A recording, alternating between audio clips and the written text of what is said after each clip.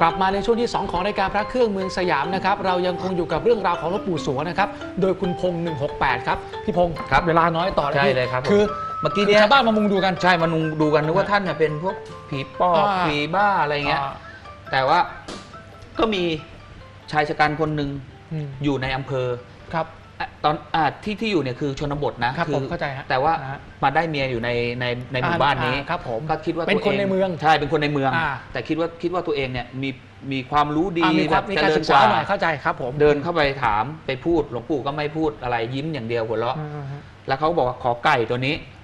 อืม ปู่ก็เฉยเฉยๆตอนแรกก็เฉยๆเขาขอไก่เขาเขาเขาขอไก่เลยนะอ่าเขาแบบขอไก่ตัวนี้ได้ไหมอ่าอะไรอย่างเงี้ยครับพอหลวงปู่ไม่ให้ก็แย้งยื้อ อ๋อ เอาไก่มาครับคก็รับ อะไรประมาณกูขออะไรเงี้ยเอามาอ่าครับ หลวงปู่ไม่ให้ยื้อยื้อก็ยื้อกันไปยื้อกันมา ผลักหลวงปู่ผลัครักบแล้วก็เอาหัวโขกกับเสาที่หลวงปู่นั่งอะหลวงปู่เขาท่านคงเจ็บอะจริงท่านก็ปล่อยเหรอไก่ เอาไก่ให้อืมอ่าเอาไก่ให้ก็คือก็พอได้ไก่ปุ๊บก็ไป อืมชาวบ้านที่มุงอยู่ก็หายไปกันหมด ก็เขาก็นึกว่าคุณบ้าอ่าเข้าใจคือเข้าใจ ณตอนนั้นไม่มี แล้วไอ้นั่นมันจะเอาไก่ไปทำไมอะ ก็ไม่รู้อะคือประมาณว่าตัวเองนี่แบบอยู่ในเมืองโชว์พาวก็โชว์พาวโชว์พาวประมาณนั้น อยู่ได้แล้วไงต่อเจ็ดวันอืม ทั้งไก่ทั้งคนตายเลย ครับผม เป็นอะไรตายพี่มีเรื่องเล่าไหมหมายอันถึนี้งป่ไม่วยรู้ตายแต่หรืรู้อหรือแต่ตายรู้ว่าคือเขาเล่ามาเขาว่ารู้ว่าเขาตายไปตายเฉโอยเคอ่า ๆแล้วณย้อนกลับมาวันที่เอาไก่ไปหลวงปู่อ่า ก็นั่งเขี่ยดินมาอ่า เจ้าของที่อะเจ้าของยุ้งข้าวนั้นครันะบเป็นลุงกับป้าคู่หนึ่งอ่าเขาเห็นแล้วเขาสงสารสมอืม คือครับเหมือนเวทนา อ่าครับผม ก็เรียก แต่หลวงปู่ท่านก็เสียใจใช่ไหมอ่าที่เรียก ที่ที่เสียไก่ไปถูกไหมฮะ ไม่รู้ว่าหลวงปู่เสียใจไม่เสียใจอ่าเพราะหน้าท่านก็เฉยอ๋อๆอะไรอย่างเงี้ยคครัรับบผมแต่ว่าท่านพูดกับท่านพูดตอนที่แย่งเนี่ย อ่า บอกว่าถ้าฉันให้ไปแล้วฉันจะจะอยู่อะไรจะอยู่กับใครล่ะอะไรประมาณนี้ไงคุณผู้ชมนี่คือรูปถ่ายจริงๆของหลวงปู่ใช่สวงเนี่ยนะคครัรับบรูปถ่ายจริงๆของหลวงปู่แล้วดูดิแล้ว เนี่ยท่านจะนั่งชอบนั่งบนแค่แล้วเอ่อ ผมว่าท่านเหมือนคนอารมณ์ดีนะเดี๋ยวดูดูท่วงท่าในการถ่าย ใช่ครับผมนะฮะบางวันก็ไปนั่งอยู่กลางทุ่งนาไปนั่งไอ้ ดำข้าวอะไรอย่างครัเงี้บยอ่าฮะแล้วไงต่อฮะนะฮะแล้วก็ไปไปอาบน้ำอ๋ออ่ากินข้าวเสร็จเขาก็คุยกัน จนตากับยายคู่เนี้ยเขาไม่รู้ เพราะว่าบอกถามชื่อหลวงปู่เขาไม่พูดไม่อะไรเลยจริงเหรอฮะก็บอกนั้นเดี๋ยวจะจะฉันจะเรียกสวงแล้วกันเรียกสวงอะสวงก็สทำไมวงต้องใช้คำว่าสวงอะผมคือคำสวงสวงมีคำแปลไหมผมไม่แน่ใจว่าคำว่าสวงนี่ภาษาแปลว่ามันมีคำแปลอะไรไหมผมจะแปลว่า ผู้เฒ่าผู้แก่หรือไงครันะบไม่แน่ใจนะครับโอเคโอเคไม่เป็นไรฮะนั่นแหละฮะก็เรียกแล้วก็สวงอ่ามันเรียกสวงมาตลอดตาสวงว่างั้นเถอะอ่าฮะปฏิหารย์ของหลวงปู่ที่พอมามารู้ว่าหลวงปู่เนี่ยเป็นผู้วิเศษเป็นนักบวชเป็นอ่าอะไรผู้เงี้ยวิเศษในภูตะแบง ผู้วิเศษในอืมเนี่ยก็คือเหตุการณ์หนึ่งก็คือลุงกับป้าเนี่ยทำไมฮะตอนเช้า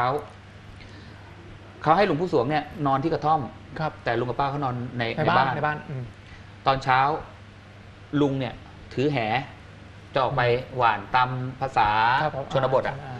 หลวงปู่เขาก็ตะโกนบอกว่าเขาไปด้วยอืมลุงไอ้ลุงเจ้าของที่บ้านเจ้าของบ้านเขาบอกอ่าไปก็ไปไปด้วยกันครับ ก็ไปก็ไปไปไปเจอบึงใหญ่เลย อืมอืม บึงใหญ่อืม ก็หวานแหกันอะไรทลุอดงแหเวียงหลวงแหปู่ปก็ไม่ได้สนใจหลวงปู่ก็ไปนั่งจุขอบบึงแล้วก็นั่งเล่นดินนั่งหักต้นไม้คว้างลงไปอะไรแปลกนะฮะอ่านั่งอืมแล้วก็ชี้ให้ ชี้ให้ลุงอะวางตรงนี้อย่างนี้ไอ้เนี่ยตรงเนี้ยปลาตรงเนี้ยปลาจริงเพราะว่าลุงตอนแรกหลวงปู่เนี่ยไม่ชี้อะไรนะครับหลวงปู่นั่งเล่นดินไม่สนใจคือเหมือนนั่งไปนั่งเล่นอะครับผมลุงคนนี้ก็หวานแหเท่าไหร่ก็ไม่เคยได้ปลาเลยอ่าจนหงุดหงิดอะครับผมหลวงปู่ก็บอกนู่นไงตรงนั้นน่ะหวานไปดิอ่าหวานไป มาก็ได้ได้ปลาก็ได้ปลาครับผม ตรงนั้นน่ะหวานไปก็ได้ปลาอ่าครั้งก็คราวนี้ก็จะมืดแล้ว มันอยู่วันใกล้จะมืด เขาก็ประมาณว่าจะหวานในครั้งสุดท้ายแล้วอืมก็หวานแหลงไปเพราะหวานลงไปแล้วก็โดด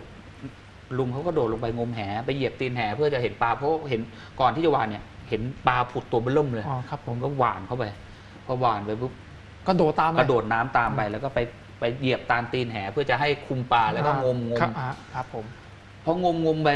ไปเจอตอหรือไปแหเนี่ยไปไปติดตอหรืออะไรเนี่ยแหละ ดึงไม่ขึ้นครับ ลุงเขาก็แบบ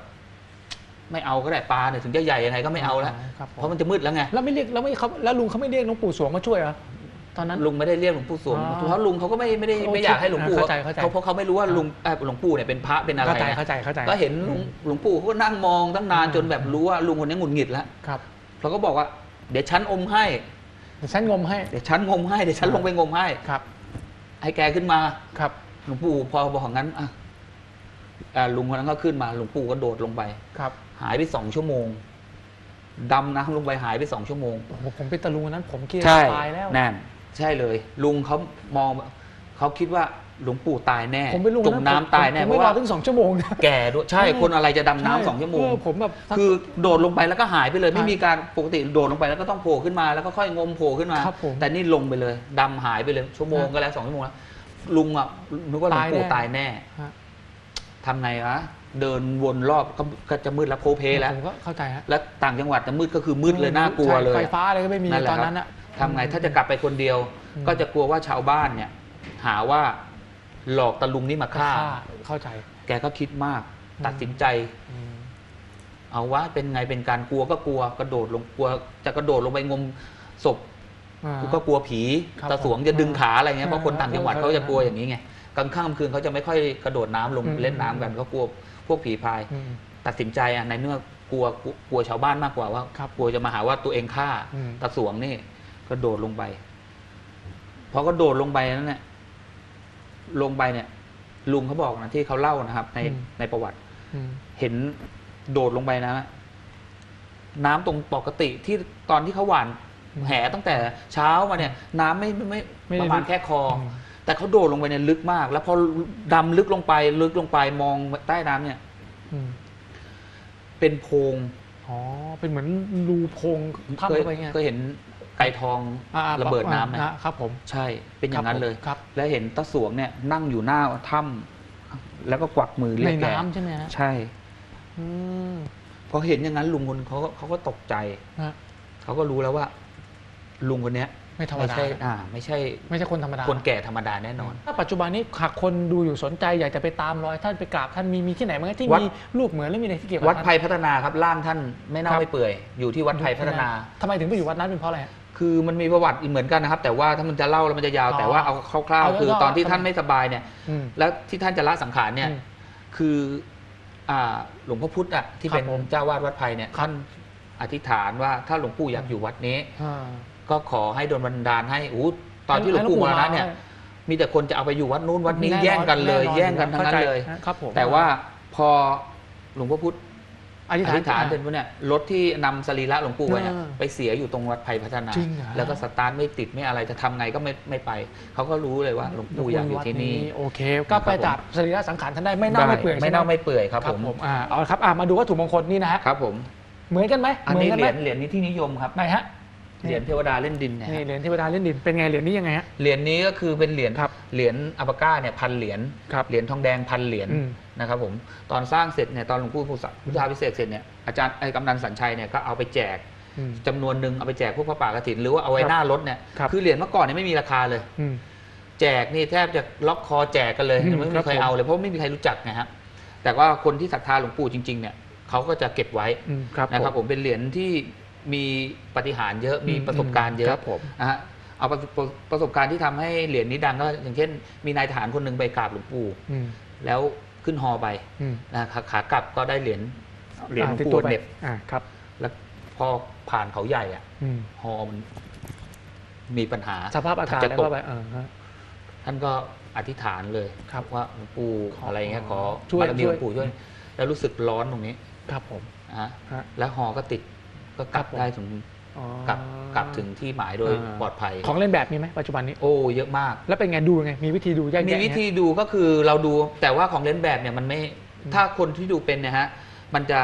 ห่างต่างกันเอาง่ายๆเลย ถ้าของเก๊เนี่ยเหรียญมันจะบวมครับผมอ๋อมันจะไม่คมอืมเป็นเบสิกเลยครับ ครับผมแต่ว่าถ้าเหรียญแท้เนี่ยจะจะมีเส้นขนแมวจะมีเส้นอะไรให้มันก็จะเป็มีนตำหนิให้ธรรมดูชาติเป็นธรรมชาติครับผมครับผมนี่นะนะฮะครับอะต่อมาฮะมีอีกฮะมีอีกไหมฮะก็ เหมือนกันไหม อันเหมือนกันครับ อันนี้คือโอเคถ้าเหมือนกันข้ามไปเลย อันนี้คือเหรียญ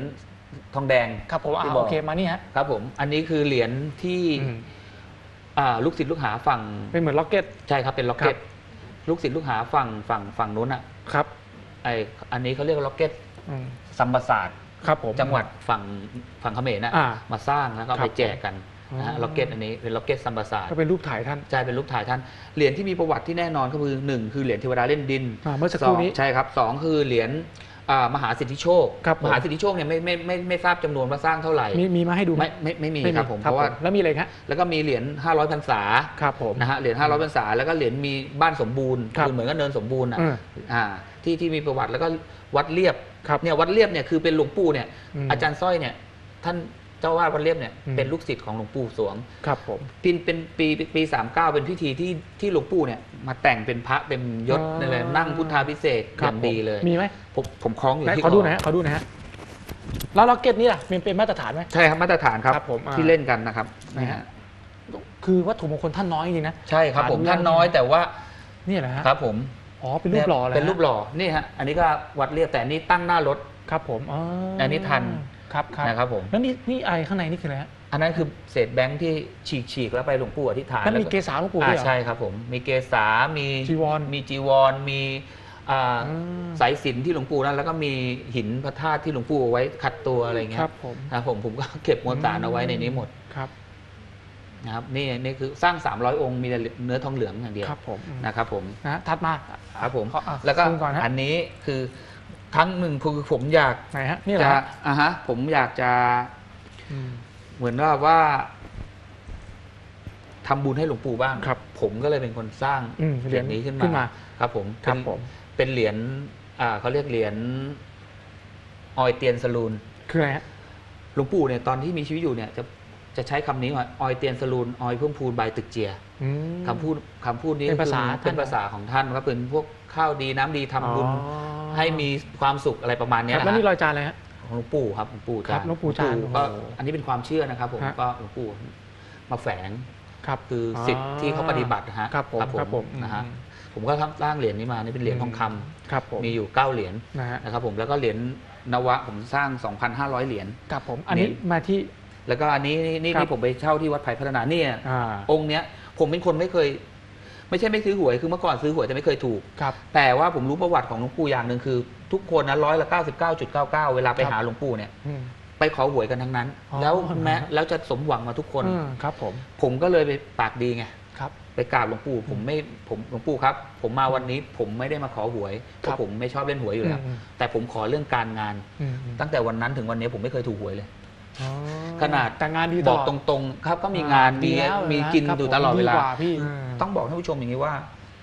ถ้าเราศรัทธาหรือเคารพอืม พระองค์ใดองค์หนึ่ง อย่างยึดมั่นหรืออย่างเต็ม